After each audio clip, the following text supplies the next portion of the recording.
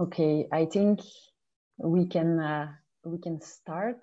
Um, Professor Makane Mbengue, if I can pass over to you, please. Thank you. Thank you very much, uh, Liz, Lisbeth. Uh, welcome to everybody uh, to the first edition of the IISD uh, University of Geneva Trade Knowledge uh, series. My name is Makane Moïse Mbengue. I'm a professor of international law at the Faculty of Law of the University of Geneva, and I happen also to be the director of the Department of Public International Law and International Organization of the same university. Uh, it is really a great pleasure to launch uh, this new series in partnership with uh, IISD. I guess that some of you know that uh, it is not the first time that uh, IISD and the University of Geneva are, are collaborating uh, we actually launched in 2017 uh, a series called the IISD University of Geneva Lunch Series on Investment Disputes, where we, we, we had the chance at different occasions to discuss the linkages between uh, the investment regime and sustainable development um, issues. And uh, I have to say that uh, those series on, on investment uh, disputes have been uh, very successful. And uh, it is uh, thanks or because of that success that we, we, we decided to launch now a, a, new a new series and this time focusing on on on, on trade. I was telling to Nathalie Bernasconi, who unfortunately cannot make it today, and to, to Lisbeth Casier, who have been very kind to approach me for this new series on, on, on trade knowledge uh, I've been telling them that for, for a long time, we were talking a lot about the trade, about the multilateral trading system. And at a certain point, the multilateral trading system uh, lost a bit of attention and, and a lot of attention was put on, on the investment regime. So I'm very happy that we are now coming back also and, and putting more and more attention uh, on, the, on the trade regime, on the WTO, because uh, the, the, the, the, issues that are arising today within the multilateral trading system are as important as, uh, as, as ever. So I'm really thankful to Nathalie Bernasconi, Lisbeth Casier, and Sofia Baliño for associating the University of Geneva to this, uh, this new series. So for the first edition, we have chosen a, a topic on trade and, uh, and, and, and health um, with a subtitle what the World Health uh, Assembly outcomes mean for, for, the, for the trade regime. Many of us know that uh, the trade and health debate or the trade and health uh, nexus uh, is maybe one of the most complex, one of the most controversial uh, aspect of the of what we call the trade and debate uh, I believe that uh, despite many of the discussions that have been taking place uh, during the last uh, 20 years on, on the relationship between trade and health, there are still many aspects, many issues uh, to be explored. And uh, in the current context of global pandemia, the, the relationship, the interaction between trade and health is even more important uh, to, to, to explore. I, I remember that uh, 15 years ago, I was involved in the negotiations of the international health regulations, the WHO international regulations, and, and trade was actually one of the sensitive topic uh, during the negotiations of the international health uh, regulations. And uh, some of you know a bit the, the, the, details of the international health regulations, you know that trade is actually even mentioned in Article 2 of the international health regulations that are that is dealing with the purpose and scope of the international health regulations. So we have an explicit mention to trade there, but I still believe, I think I'm among the people who believe that uh, that the international health regulations have been quite shy uh, with, with trade and that there was much more uh, to tackle when it comes to trade and uh, global responses to, to, to, to, to international uh, pandemia. So I think that it is now the opportunity to come back on, on, on, on these aspects to maybe discuss uh, uh, ideas, ideas for the future. There are many voices that are calling for the amendment or the revision of the international health regulations and any revision of the international health regulations would have to better in my view regulate and and and and and and, and handle uh, trade trade trade aspects so i think that this is a very timely uh, discussion i'm very thankful to our two experts uh, dr suerie moon and mr tiru balasubra Manyam for having accepted our, our invitation. I'm sure that the discussion will be very stimulating and I'm looking forward to, to, to also to the debate with uh, the, the participants to this, uh, to this webinar. So without further ado, I will give now the floor to, to Lisbeth Casier uh, from ISD to, to moderate this discussion. Thank you very much again. Thank you so much, uh, Professor Mbengue, to uh, to introduce and, and for, for your warm welcome uh, to all the participants. Also on behalf of, of IISD, uh, I want to welcome everyone here and, and also thank the University uh, of Geneva for uh, embarking with ISD on this new trade knowledge series.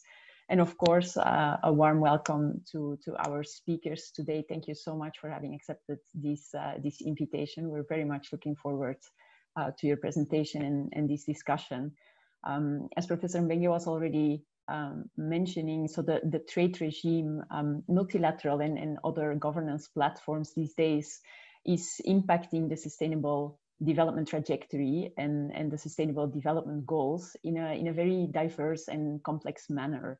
And our aim with this knowledge series is really to, to contribute to unpacking some of these complex interactions, to share knowledge so that we also ensure that tomorrow's trade governance system is actually designed to deliver on the sustainable development goals. And then as a first of this series, we need uh, chose to look at those interactions between trade and health um, and where we can highlight, of course, a variety of issues there um, between, the, between the two. Um, we chosen uh, to go back to the World Health Assembly that took place in, in May this year and introduce you to some of the outcomes and initiatives that have an interaction with the multilateral trading uh, regime as we know it today. And for that, we're delighted to have with us today Dr. Suerie Moon of the Graduate Institute uh, for International Development Studies. She's the co-director of the Global Health Center and a visiting lecturer. Um, Dr. Suerie Moon has an enormous uh, specialized policy expertise on many topics in relation to global governance and, and health, uh, ranging from how to achieve more globally equitable innovations and access to medicine to how to make trade investment and intellectual property rules more health sensitive. Um, with uh, an enormous uh, uh, background uh, and, uh, and knowledge uh, that she also built from teaching at the Harvard Chan School of Public Health co-founding a forum on global governance for health uh, as a focal point for research, debates, and strategic convening on the issues. Um, Dr. Suerie Moon, thank you very much for being uh, with us today. And I would also like to introduce our second speaker. Uh, this is uh, Thiru Balasubramaniam from the Knowledge Ecology International, or KEI. And uh, KEI is a not-for-profit uh, NGO that searches for better outcomes including new solutions to the management of knowledge resources with a focus on social justice, justice and the management of knowledge resources in uh, fairer and more efficient ways to respond to the human needs. Um, Thiru is an economist with an extensive expertise in policy analysis and represents KEI in Geneva in various multilateral fora um, related to uh, to some of the, the issues we're, we're, talking about today, ranging from WHO, WIPO, uh, and the WTO. Very briefly, before we start, uh, just a couple of house rules. We will definitely ensure we have enough time for discussion. We hope to have a 30 minutes discussion after our two speakers uh, take the floor. And we have a, a Q&A session in which you can drop some questions in the, the Q&A box on the bottom of your screen. So to all our attendees, um, please feel free during uh, the presentations to already drop some questions there. We'll, uh, we hope to respond to as many of them as possible. And during the Q&A, you also have the opportunity to raise hands uh, during the discussion if you would like to take the floor. And with that, um, I would like to invite uh, Dr. Sue Moon to, uh, to share her presentation with us. Uh, and thank you very much. Thank you so much. Let me just take a moment to um, put my slides up. There we go. Okay. Can you see them okay? Yes, perfect. Okay, great. Okay, so first I'd really like to thank uh, Professor Mbengue at the University of Geneva and uh, Lisbeth Casier, you and your colleagues at the um, International Institute for Sustainable Development for inviting me and giving me the opportunity to speak on a topic that is near and dear to my, my heart um, and has indeed kind of risen back up on, on the global agenda. I plan to speak uh, for about 15 minutes um, as, as instructed, and I really look forward to back and forth uh, with the, the audience, with the participants, so I hope you will not hesitate to uh, pose your, your questions and um, questions and comments. And just a quick uh, overview, I'll begin with a few comments on the political context within which the World Health Assembly took place.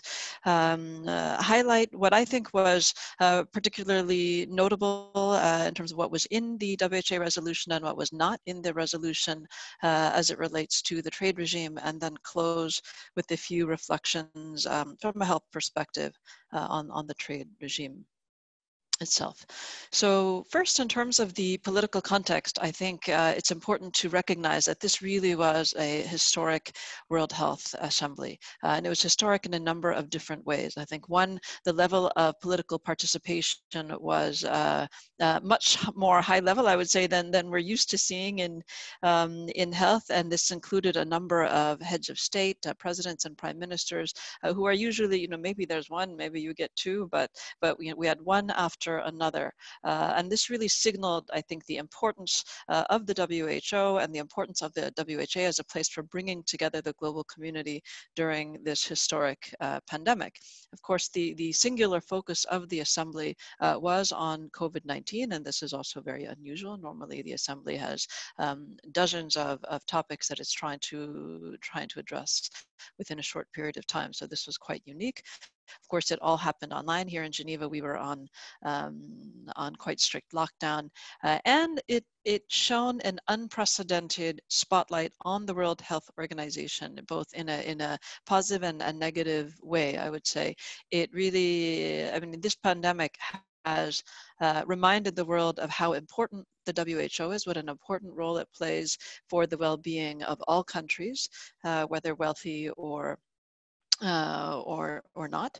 Um, but WHO has never been uh, quite so closely scrutinized and has never been, um, to my knowledge, as openly uh, politically attacked as it has been during the last few months. And so this really was a, a quite um, historic bringing together of, of all the key players at the international level. Um, much of the kind of broader chatter about the geopolitical context really focused on uh, the superpower rivalry between the U.S. and China, and I do think that was uh, important. I'll get uh, I'll get to that in a bit more detail in a second. Uh, but what I do think the Assembly demonstrated was that Europe and the European Union in particular is determined uh, and very willing to play a robust global leadership role.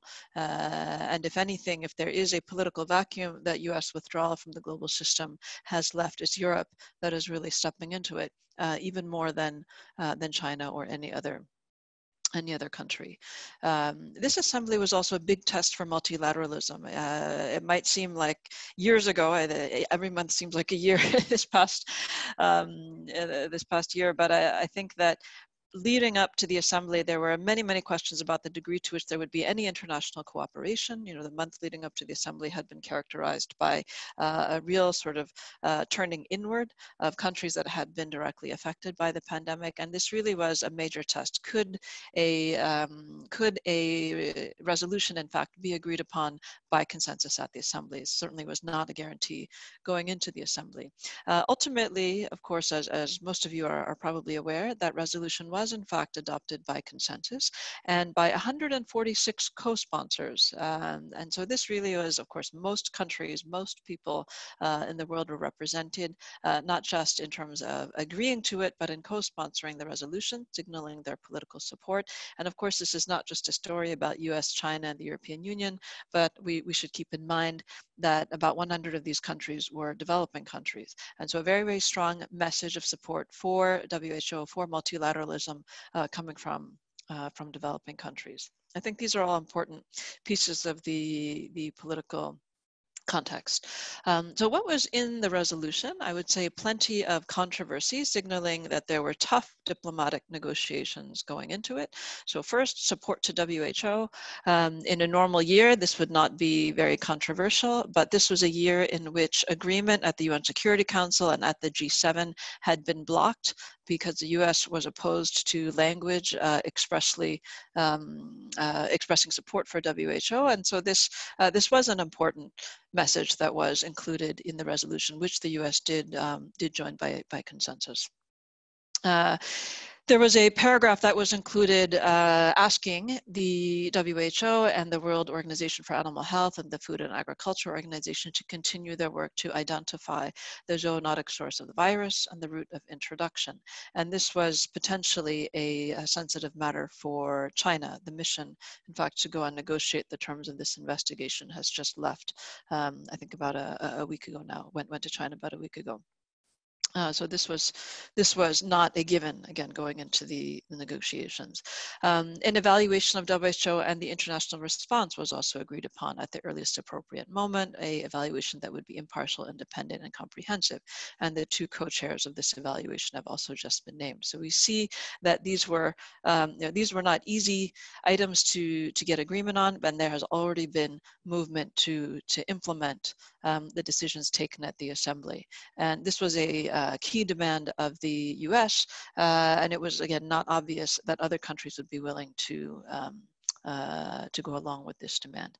Last but not least, an explicit mention of sexual and reproductive health uh, and rights, which was also strongly opposed um, by the US. And I, I, mentioned the US not because it's the only important player, of course, at the Assembly, but because a number of the strong objections to key provisions were uh, spearheaded by, um, by the US.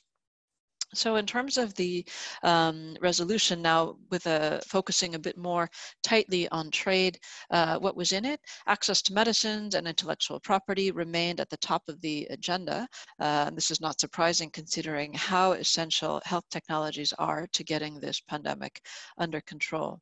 I wanted to just um, note as a reminder that prior to the assembly, there had been two uh, General Assembly resolutions that were passed on COVID, and the second one focused explicitly explicitly on ensuring global access to medicines, vaccines, and medical equipment. Um, this resolution, however, did not include very specific language on uh, flexibilities in the TRIPS agreement or flexibilities um, as, as articulated in the Doha Declaration. And these were important, uh, I would say, an, an important added uh, political uh, added concreteness and an added political support that was expressed in the WHA um, resolution for the, uh, the right to use TRIPS flexibilities to ensure adequate access to technologies to respond to, uh, to COVID. What was also included was a mention of immunization as a global public good. And this phrase, global public good, is one that got a lot of airtime during the assembly. I mentioned a couple minutes ago that a number of heads of state, including the president of China, uh, the president of France, the president of the European Commission, all spoke about uh, the importance of making vaccines globally available to all as a global public good. And there have been lots of debates as to well, what exactly does that imply? And I think the key idea is that everybody in the world is able to access, uh, nobody is excluded from accessing um, the benefits of immunization or the benefits of um, of vaccines. Uh, also notable in the resolution were clear references to innovation, uh, in particular mention of open innovation. I think in the past, uh, in resolutions, there had been a lot of emphasis on access, but not necessarily on the innovation side of the equation. And again, uh, uh, a second mention of Doha and TRIPS in relation to requests that international organizations support countries in making full use of these flexibilities as needed to make sure that they can produce and get access to uh, to the technologies um, that they need. It's important to see these, these um, key mentions in the text of the resolution, also in the context of what had been happening in terms of IP debates outside the WHA.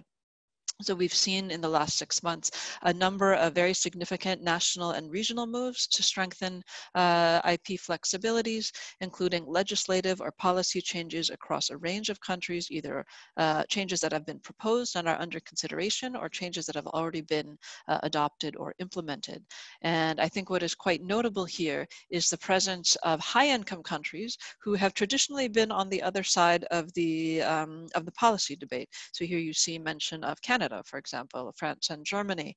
Uh, France and Germany are, of course, uh, not only large high-income countries, but are home to very significant pharmaceutical industries. Um, Israel issued a compulsory license on an HIV medicine in the early days when it was um, considered to be a potential uh, potential potentially useful therapy to treat COVID-19. And so this is a real shift from the previous political dynamics that we had seen. We've also seen patent challenges being launched by civil society to Remdesivir, one of the first products shown to be effective. Um, and these have been launched uh, in India and in Argentina.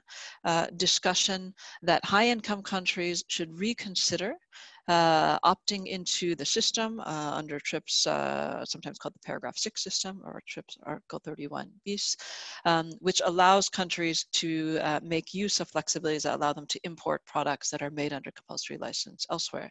And this is really critical because there is not a single country in the world that has a um, has access to the production of every health technology that it needs. And this has become painfully obvious in the early days and, and still today, but certainly in the early days of the pandemic when many countries, including here in Switzerland, we could not get enough masks, we could not get enough uh, rubbing alcohol, we could not get enough um, reagents for diagnostics in one of the wealthiest countries in the world, again, with a very, very um, sophisticated pharmaceutical uh, industrial base. And so for countries to make sure that they could make use of every possible policy measure in order to make sure they have access to the health technologies they need, including the high income countries, um, this is really something that has, I think, um, risen again to the top the agenda.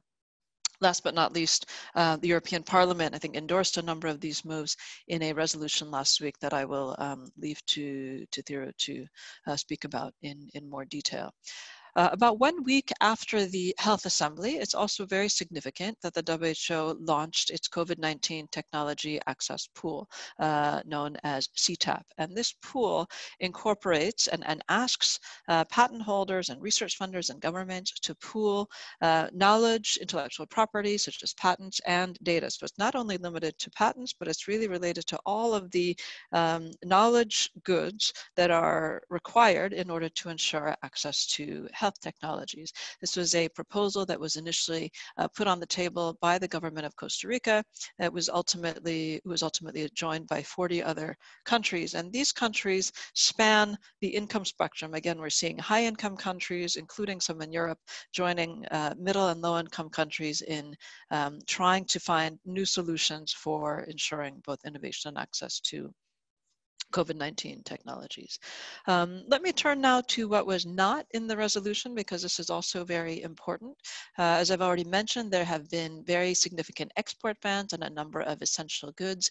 You can see on the slide in front of you um, all of the different types of products that were covered uh, by export restrictions or on the other side of the coin, liberalization. So basically, if a country had something already, whether it was food or, or medicines, they would restrict exports and whatever it didn't have have, let's say I needed to import masks from my, my neighbor, it would liberalize restrictions to try to facilitate those. But you really had a trend of countries uh, really concerned about their own needs, looking inward, uh, rather than, of course, concerned about necessarily liberalizing global trade. And it's very logical. It makes um, uh, it makes a lot of sense.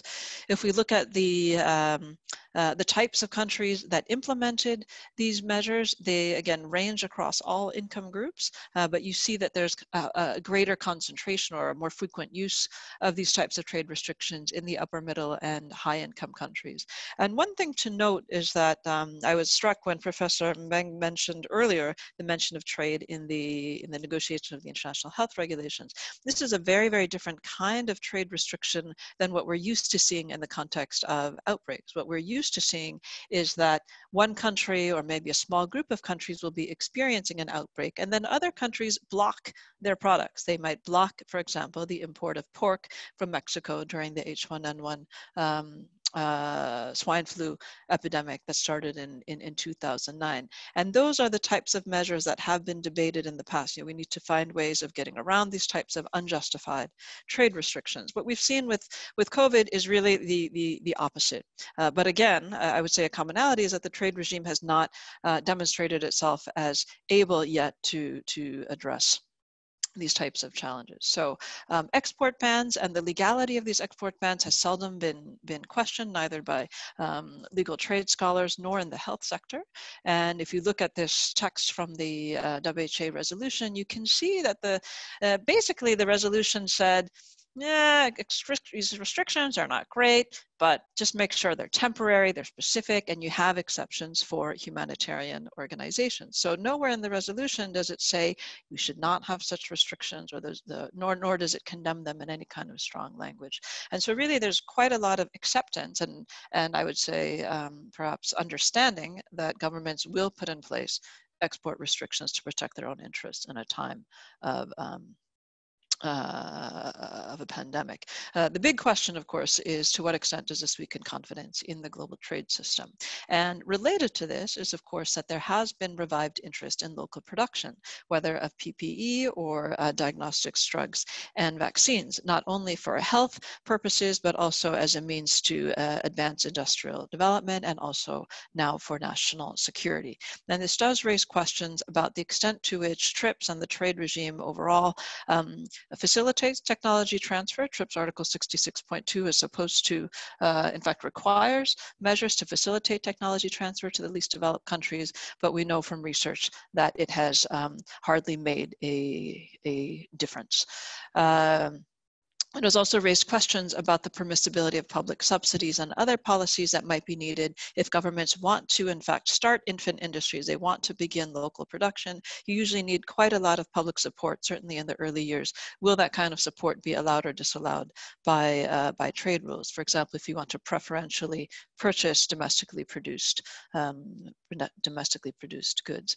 Last but not least, uh, it's no secret that underlying health conditions such as diabetes, heart disease, cancers, and others increase the risk of developing severe illness from uh, uh COVID-19. And this raises the question as to whether trade and investment rules um, will allow for national regulation of alcohol, tobacco, sugar, and, and other goods. Um, this was not mentioned in the uh, in the resolution.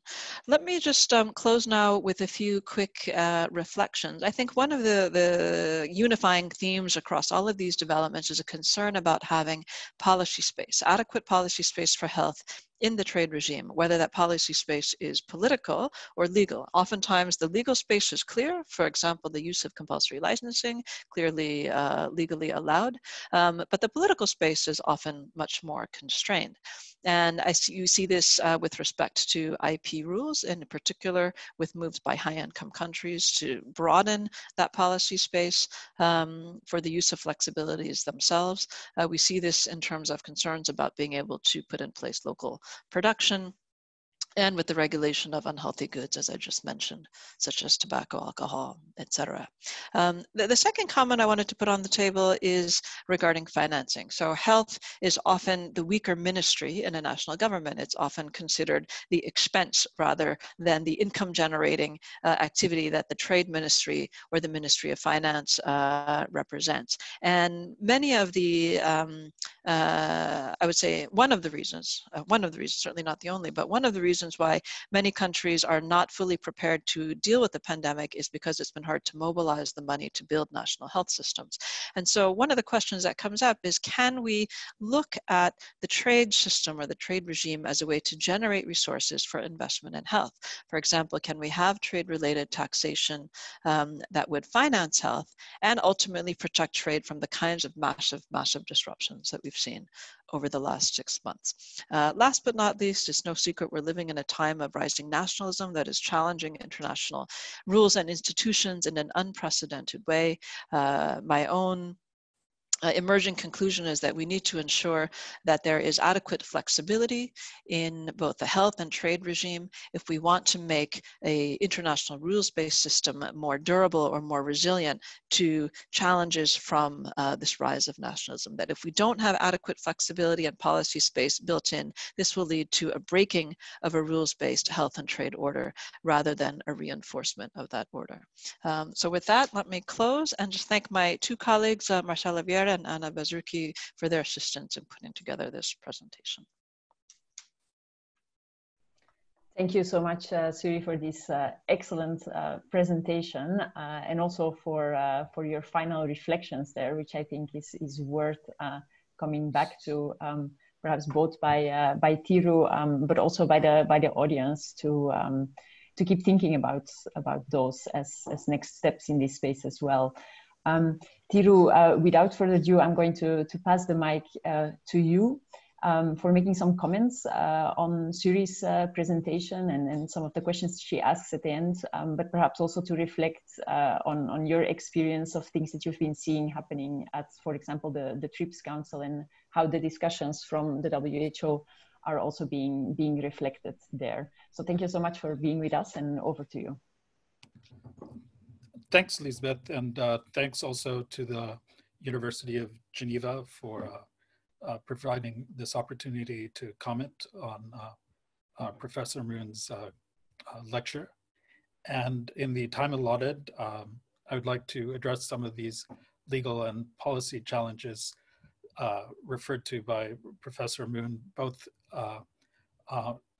addressed at the World Health Assembly level and also uh, in informal discussions at the TRIPS Council, including on IP rules, uh, technology transfer, and access.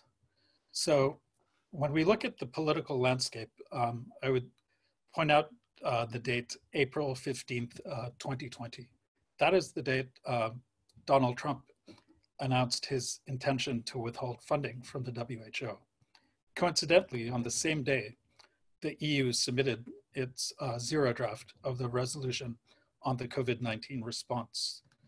Now, in the resolution's note verbale, um, it stated, and I quote, we are living in extraordinary times, and we see this assembly as an extraordinary opportunity for health ministers of all WHO member states to demonstrate their solidarity and their common resolve to overcome the challenges we all face in responding to the pandemic.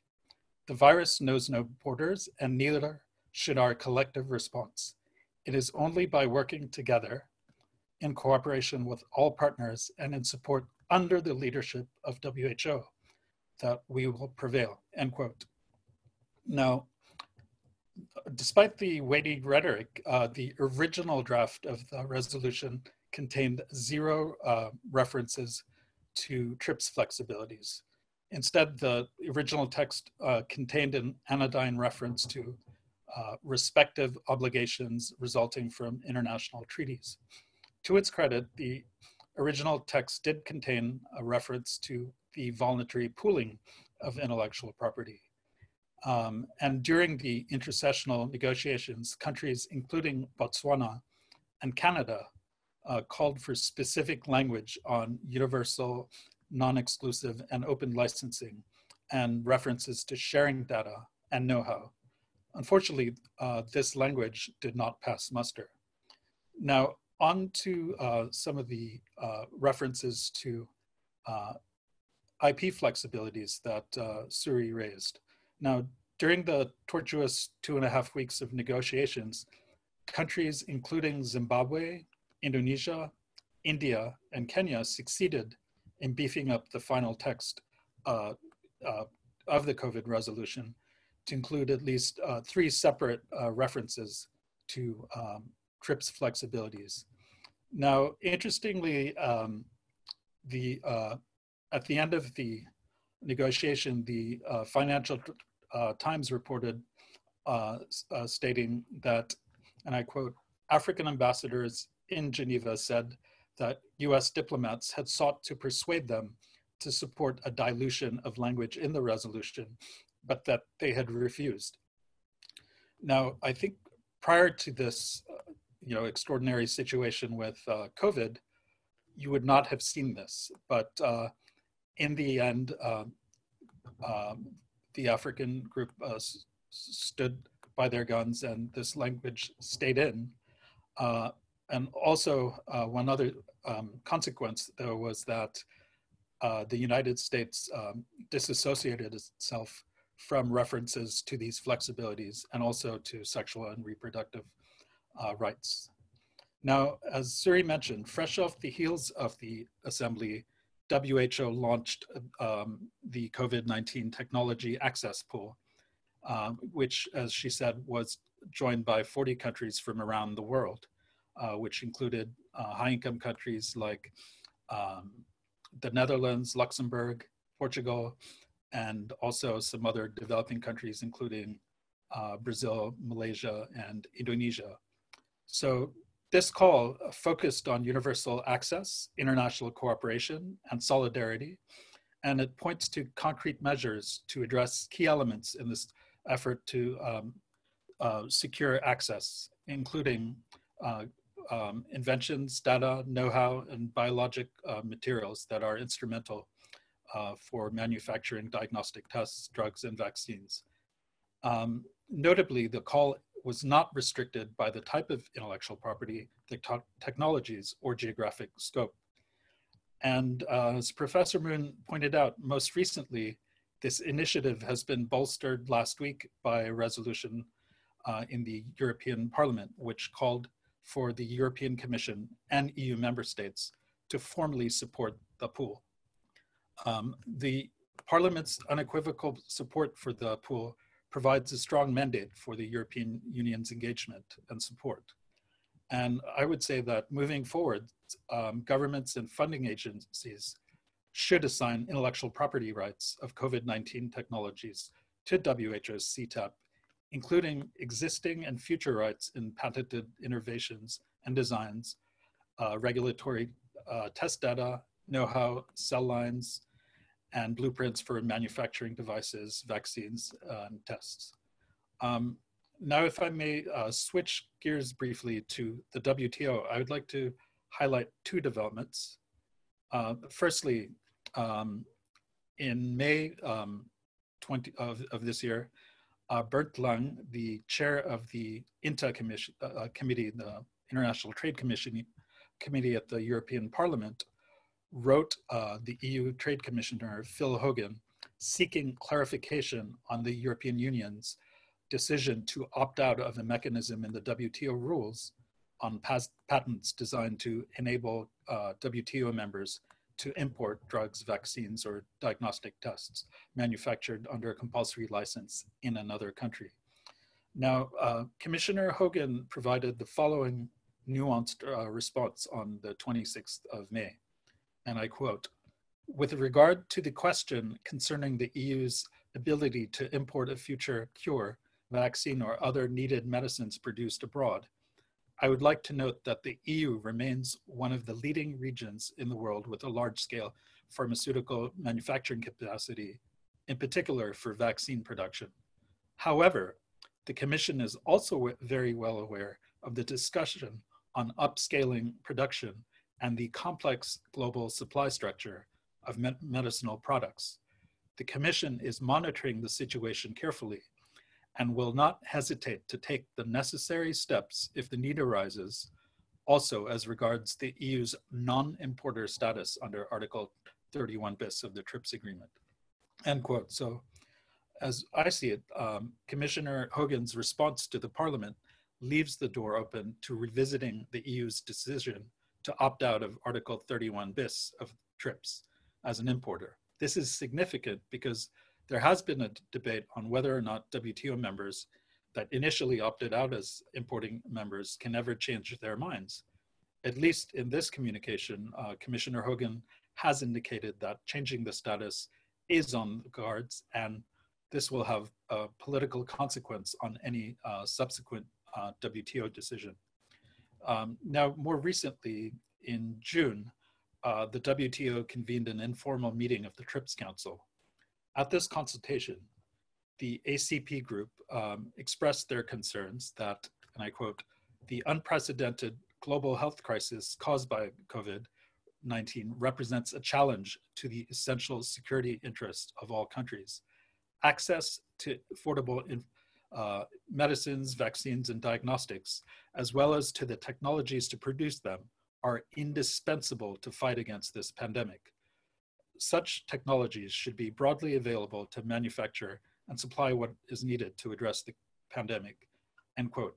And uh, this was echoed by uh, India and South Africa at this informal.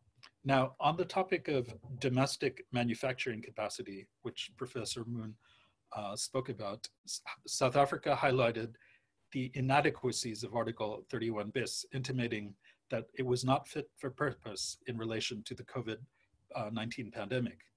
And I quote, in this context, access to Article 31 bis of the TRIPS agreement may not be effective in securing access to much needed pharmaceuticals, medical devices, technologies, or rather therapeutic technologies, diagnostics uh, to address the health impact of COVID.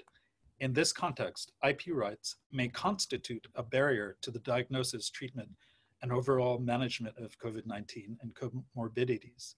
Multilateral cooperation is going to be critical in ensuring an effective response to the pandemic and may require drawing from both current and past experiences in finding an, an innovative solution to this unprecedented crisis, end quote.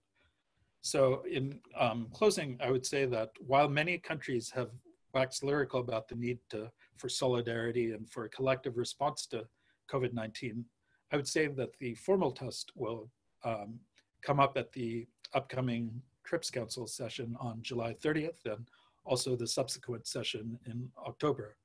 Um, I would say my final question um, to the audience and also to the conveners and Professor Moon is, how will the system respond uh, to the exigent needs for rapid access and deep technology transfer? Uh, thank you.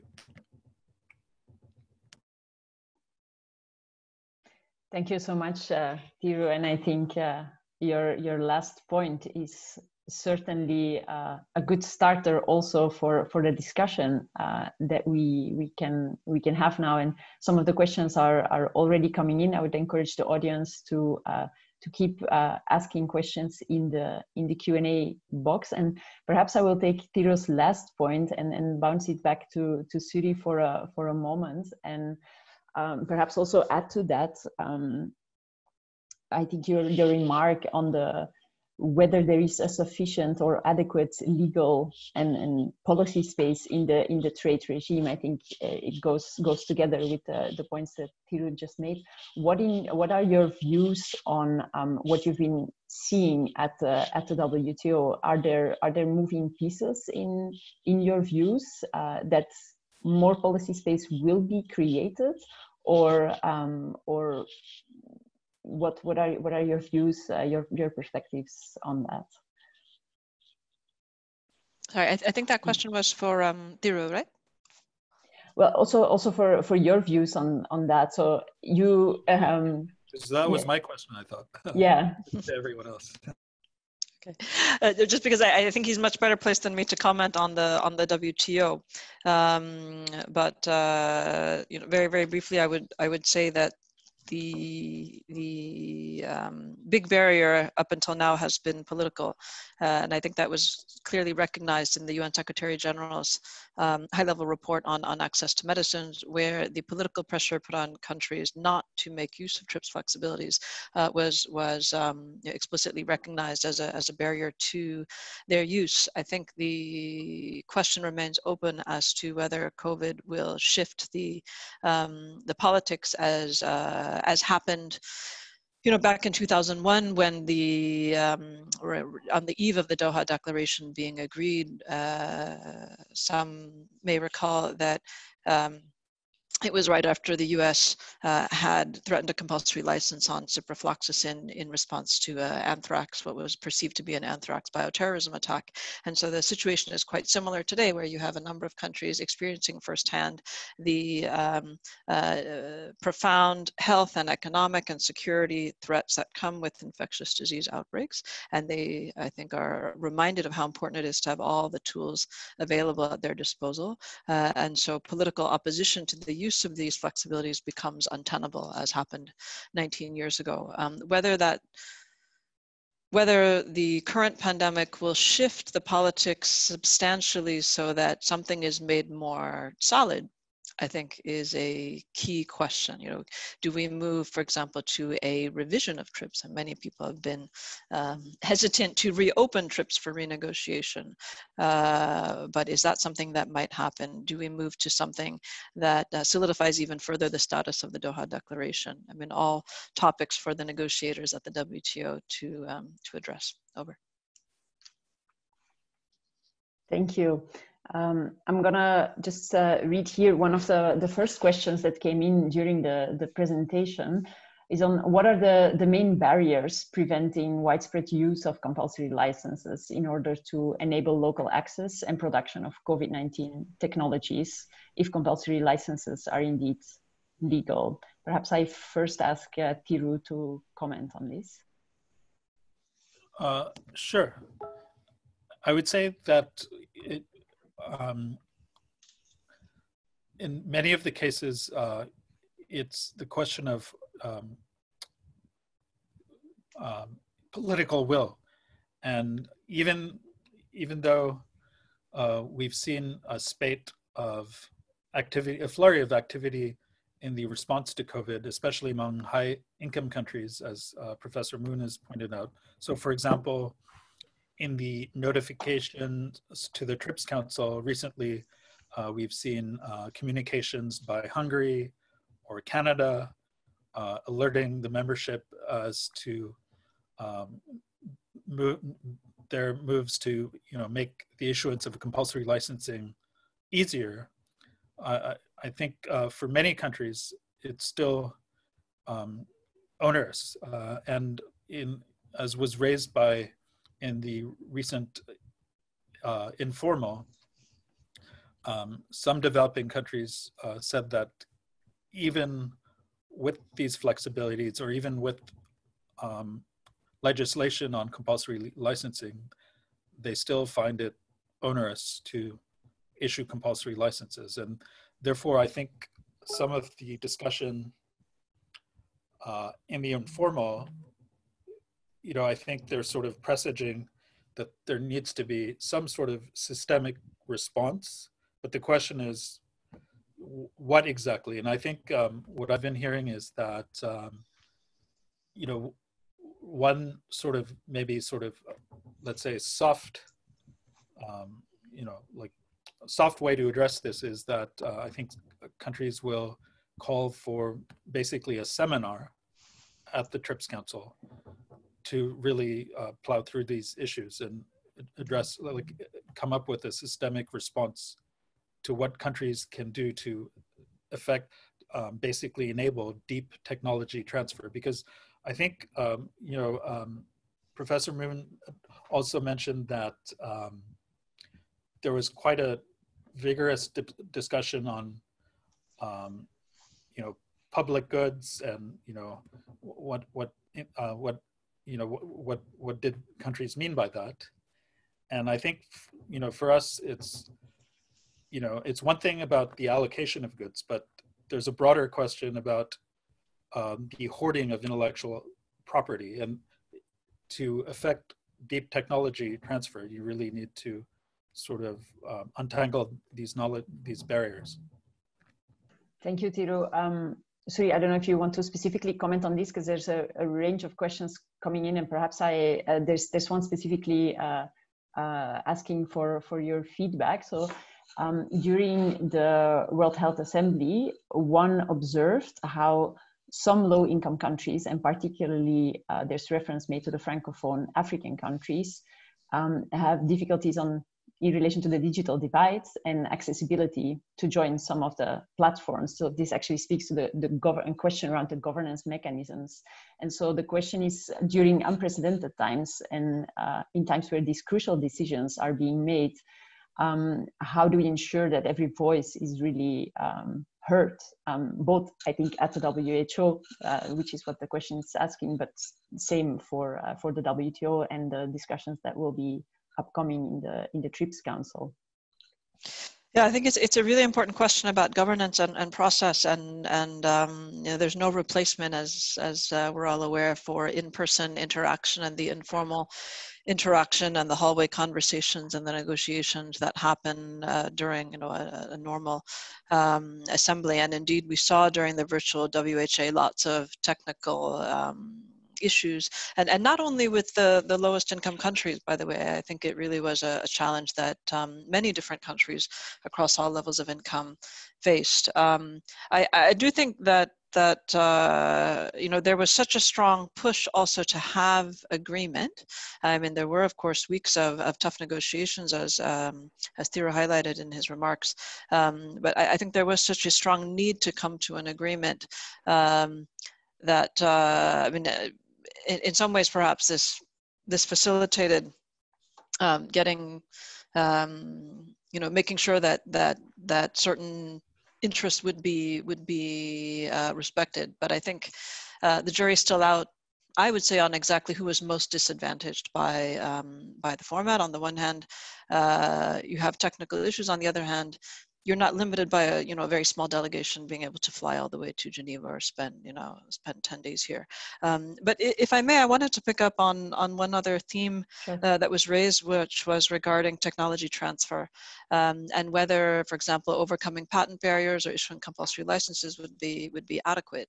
And I think that unfortunately, in this case, for many technologies, um, it, it will not be adequate to ensure equitable access. And um, for vaccines uh, in particular, which are getting a lot of attention these days, I think overcoming the IP barriers is a necessary but not sufficient um, uh, step to facilitating, for example, uh, widespread production in lots of different countries and, and rapidly scaled up production.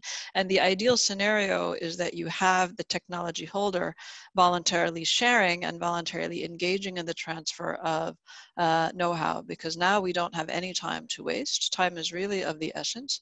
And so of course it's, it's better to have a you know, willing voluntary sharing of technology uh, and an embrace of the idea that having distributed production um, and, and uh, competitive production is, is in the interests of everybody. And this is why I think the, the high level political um, statements and commitments that were made at the beginning of the assembly are very important. You know, when you have uh, the heads of some of the most powerful countries on the planet committing to make a vaccine available as a global public good or to make all medicines available as a global public good, I really think that it's, it's critical for civil society and media and the broader public to hold those leaders to account and to uh, insist that they live up to those commitments because that political backing is what is going to accelerate, I think, the most. Of course, countries need to have negotiating leverage. The more they're able to negotiate and to be able to use different tools, uh, such as compulsory licensing, the better position they'll be in to get access to the technology they need. But the, the, the optimal solution is, is really to have uh, strong political backing for rapid uh, voluntary um, transfer of technology. Thank you. Um, I'm going to throw another uh, question, but being mindful mindful of the time, and there's always uh, yeah too little time uh, to discuss and go through everything. But one that uh, relates to an early proposal made at the WTO by Sweden and Norway to negotiate an essential health goods agreement to regulate global trade in the scarce essential goods during a global crisis. Um, any um, any comments from from either of you on the developments of of such proposal, um, where that might stand and um, and how that might might be picked up at the WTO? Thiru or Suerie? I have not seen the text of that particular proposal uh, mentioned by Marcela, so I, I couldn't comment. I believe I'd seen an early like or a different, maybe similar proposal by New Zealand and Singapore um, to that effect. But uh, what struck me, I mean, this I had a just a cursory reading of it uh, when it was when it came out, but in terms of looking at the annexes, some some of the um, annexes covered ag like agricultural goods. So, um, you know, I, I think perhaps the scope could have been narrowed to real, you know, essential health goods. That that's my only comment on on, on that particular proposal. But I, I don't know. I have not seen the text that Marcella uh, raised. Unfortunately, I don't have any further further um, insight to add, but a great question for those those uh, delegations. Um, I, I, I, did want to highlight, and perhaps you know, seeing that we're they're reaching the end of the the hour, uh, one of the big questions for for the trade regime, and I think that is um, coming back to the question of technology transfer because the one of the purposes of TRIPS was supposed to be the dissemination of technology, industrialization, uh, development, um, and industrialization more more broadly. And you know, clearly, this has not been the effect of the agreement. Uh, and I do think that, you know, this is one of the reasons why the UN Technology Bank was created as part of the SDG process to kind of um, address this ongoing unmet need. Uh, and, and this bank has become involved again in the COVID um, context of the UN Technology Access um, Partnership. Um, but I, I do think for trade negotiators, it is important to come back to that original purpose and that question you know, are there ways we need to change the rules to ensure a more equitable um, dissemination and, and, transfer of technology? And for, for the health community, I think for, you know, on these questions around outbreaks and the international health regulations, the trade regime and trade rules have, have not been responsive enough. You know, we've not found that when you have unjustified trade restrictions, um, emerging has happened uh, to Mexico. We've not found the trade regime responsive enough in addressing those. Now we have, you know, I would argue, uh, disastrous, if you know, some would argue, justified export bans on medical equipment. Again, we don't find that the trade regime is able to handle these, and so I think we we really need to take a hard look. You know, what are some of the changes in rules or incentives that are needed so that we're not um, uh, relying on a set of rules that that that and a set of dispute settlement processes that that just are not not responsive enough to um, fast moving health uh, health challenges. Thank you uh, very much, uh, Suerie, for those uh, those remarks because I think that gives us an, an excellent uh, segue into into closing this this webinar, um, which is only I think the the first and the start of uh, of IISD also looking closer at this topic. That's indeed saying the current trade rules are not sensitive enough or not uh, responsive enough to what we circumstances such as we see we see today um, before um, passing the for final remarks to Professor Mbengue, um, I just want to invite uh, Thiru if he has some final reflections on where he thinks um, the discussion around COVID is or is not accelerating actually this broader discussion at the WTO uh, in terms of um, looking and, and changing some of the, the trade rules uh, in, the, in that regard. Perhaps with the upcoming meetings that, that you've already been uh, reflecting upon of the, the TRIPS Council. Well, I would just say that um, in the last few sessions of the TRIPS Council over the last two years, um, certain developing countries have brought out uh, a sort of standalone issue under the item um, intellectual property and the public interest. And actually, the origin of it uh, relates directly to the UN high level uh, uh, report uh, that um, Suerie just mentioned. Actually, there was a time, this was uh, before, the, um, before Dr. Tedros took over. At WHO, um, it was very controversial to discuss the UN high level panel's report on access to medicines. In fact, actually, it was practically blocked um, at the EB, whereas at the TRIPS Council, um, developing countries, including India, Brazil, China, South Africa, they brought this up uh, and under that, they discussed many issues, in including competition, transparency, um, compulsory licensing.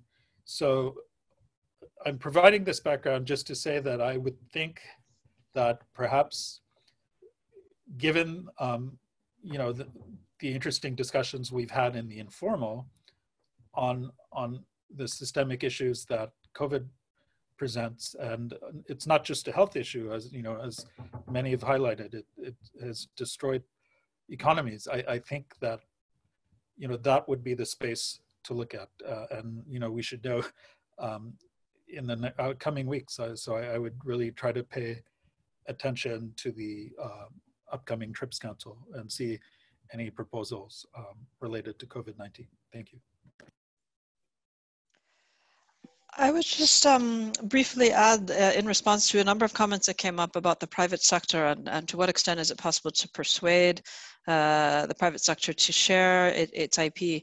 Um, I think if there's one lesson coming out of the COVID pandemic, it is the return of the strong state. And we've seen that the state is able to restrict our movements and make us uh, adopt all sorts of behaviors that are not, not what we would normally do. Uh, massive economic um, uh, stimulus and, and you know, debt spending. The, the, the, state has come back in a way that I think many would not have believed six, six months ago. And that is um, equally true in the, the field of, of, of R&D, that the state or states the public sector has been accompanying and uh, subsidizing and de-risking the R&D process for um, drugs and vaccines uh, from the very beginning all the way through to the end where, where we were talking about advanced market commitments, you know, states committing to, to purchase products. And so given the ubiquitous role of the state in managing this market for health technologies, I think that it is really in the power of states, it's in the hands of governments to create the right set of incentives or laws or requirements such that IP and technology is shared.